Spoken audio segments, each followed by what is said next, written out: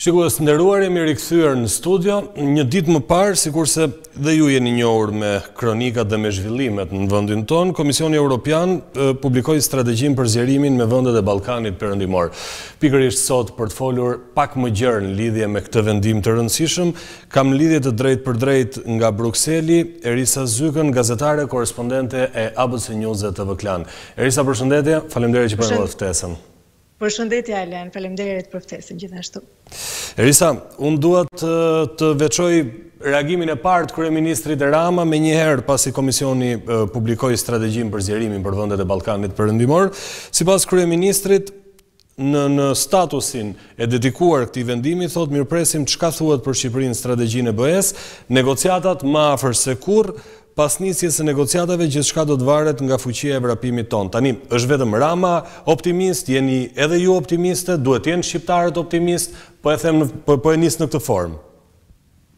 Kryeministri ka të drejtë për sa i përket jemi më afër pranë rekomandimit, po jo pranë vendimit. Pra, t'i sqarojmë gjërat. Atëherë m'i sqaro pak rekomandimin dhe vendimin. Si duhet t'i kuptojmë? Komisioni Europian do të vijë me një rekomandim pozitiv për hapjen e negociatave të anëtarësimit të Shqipërisë në Bashkimin Europian në muajin prill.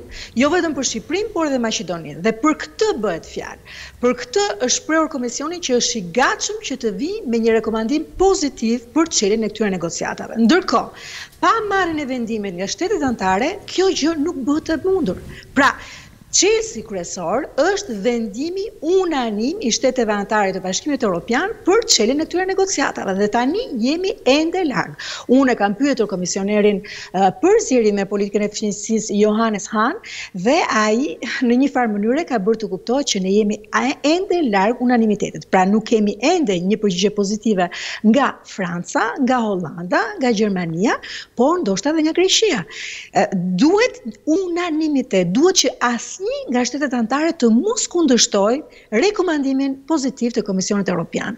Mund të m'i përsërisni dhe njëherë vendet lutem, sepse të paktën për Greqinë, po diskutohet shumë gjatë këtyre ditëve, negociatat mes ministrave përkatës, Bushati dhe Kotzias, por ju thoni që janë më shumë se 4 vende të cilat ende nuk e kanë shprehur dakordësinë e tyre për statusin e vendit kandidat Shqipërisë? Po, aktualisht ka katër vende, ka së paku katër vende, sepse Holanda dhe Franca janë të shqetësuar jo vetëm për çështjen e krimit të organizuar dhe korrupsionit, por çështjen e azilkërkuesve.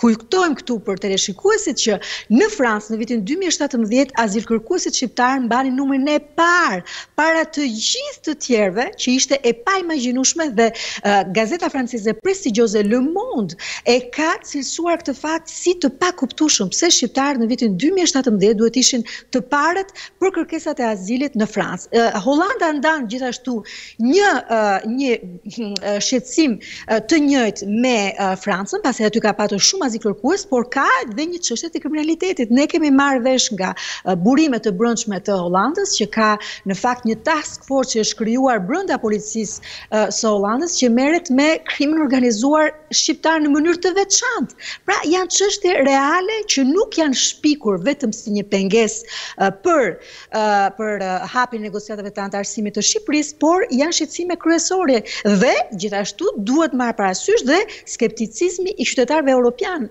Alen, sepse duhet të themi diçka. Shqiptarët Opinioni publik i shqiptarëve është i tillë që Europa nuk na do dhe prandaj nuk na pranon. Në fakt nuk është e vërtetë. Është e vërtetë që Europa në vitin 1913 ka menduar që si të na ndajë territoret sa më mirë, ndërkohë që Amerika ishte ajo që mbrojti e pavarësinë e, e Shqipërisë. Por nga viti 92 dhe më tutje Europa na ka dhënë dorën dhe kemi qenë ne që nuk e kemi shfrytëzuar këtë këtë dorë që është dhënë. Po mos kishte ndodhur incidenti i vitit nëntëdhjetë e shtatë, ne do të ishim të parët që do anëtarësoheshim me vendet e Europës Qendrore dhe Lindore, dhjetëshen, ha?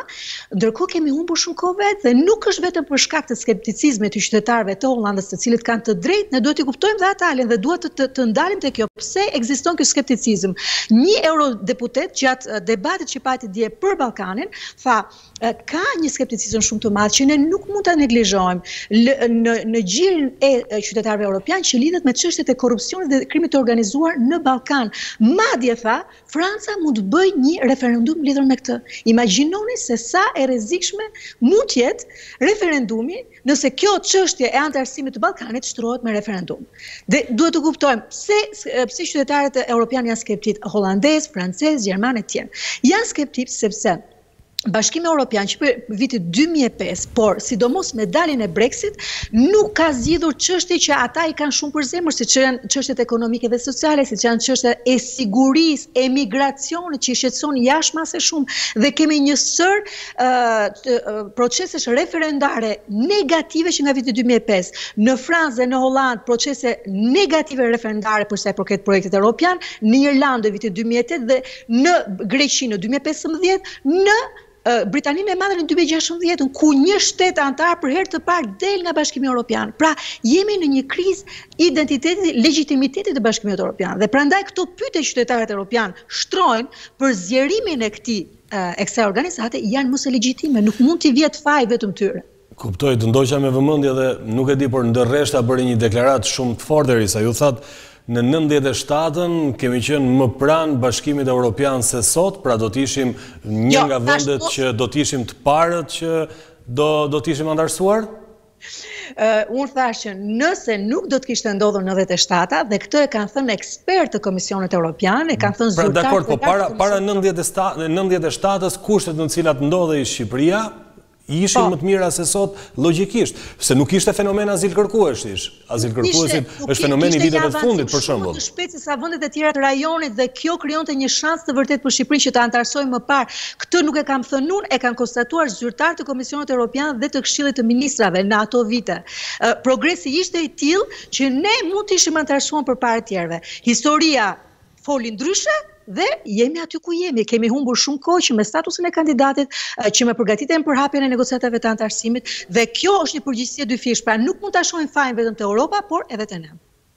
Si e shikoni qasjen e Bashkimit Europian nga njëri krah me me Serbinë dhe nga krahu tjetër me shqiptarët? Them shqiptarët me Shqipërinë dhe Kosovën e cila duket se ka dalë e fituar të paktën nga nga zhvillimet e fundit.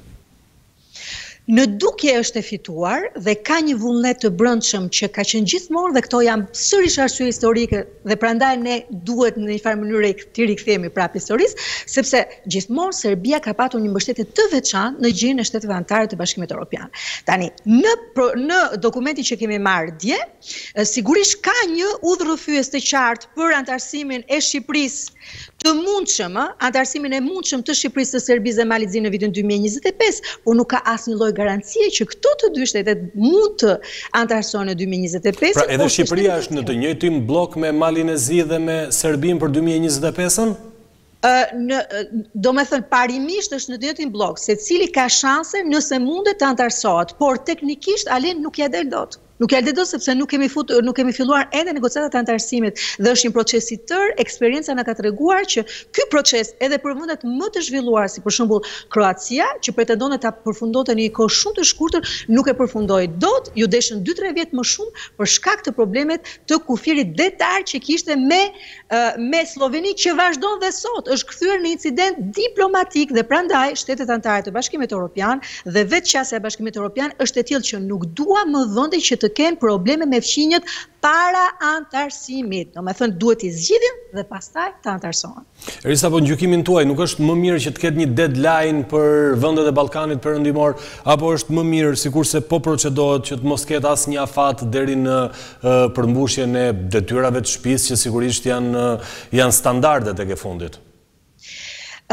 Ky është dhënë si një afat kohor, është dhënë si një perspektivë që quhet reale, është tepër ambicioze, nuk tingëllon realiste, megjithatë nëse ka shtete që janë gati, mund të anëtarësohen në vitin dy mijë e njëzet e pesë. Është gjithmonë mund ta lënë, sepse nuk ka asnjë garanci.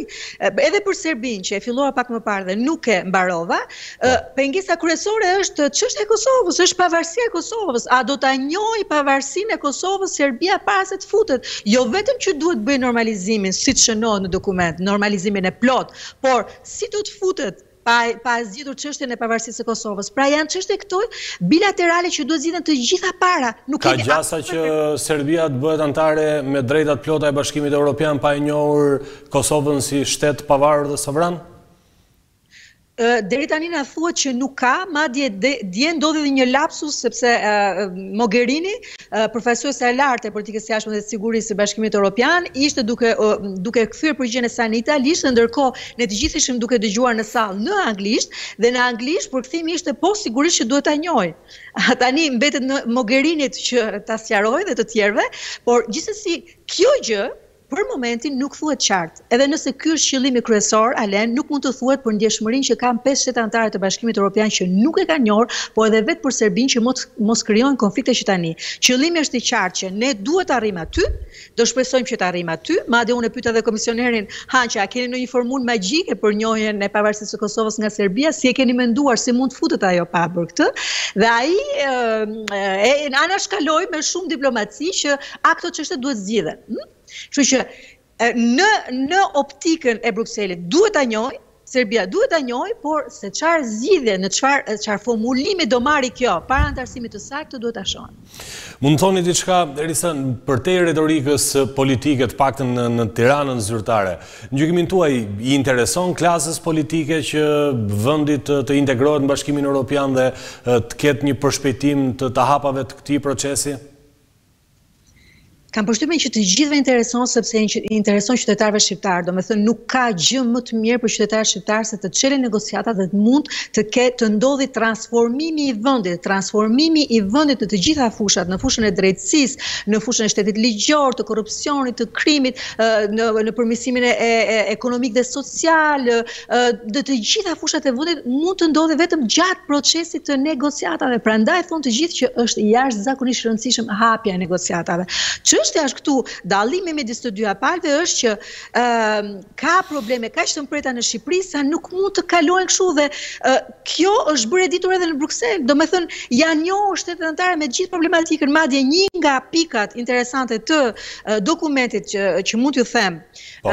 Alen është që Do të organizohen monitorime të përbashkëta të ekspertëve të Komisionit Europian, të shteteve anëtare dhe të Parlamentit Europian së bashku në të ardhmen. Kjo gjë nuk ka ndodhur deri tani. Ne kemi patur vetëm ekspertë të komisionit. Pra, ndjeshmëria është në atë pikë sa duan të jenë të gjithë prezent të shohin çfarë ndodh. Shtetet anëtare kanë se nuk kanë besim. Nuk kanë po, besim po, për mënyrën se si ne referohemi dhe raportet që ne plotësojmë. Sepse, teorikisht, jo, ne bëjmë të kundërtën e atyre që bëjmë me vepra.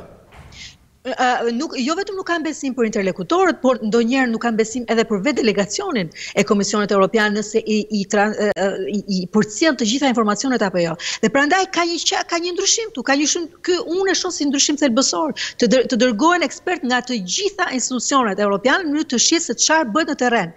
Domethënë, këtu merret shumë seriozisht, Ça, çfarë do bëhet në të ardhmen? Deri tani nuk është bërë. Dhe ne kemi parë shumë mirë që informacionet që për kriminalitetin e organizuar dhe për korrupsionin nuk kanë ardhur në Bruksel, kanë ardhur me shumë vonesë pas një viti, pas një viti e gjysëm.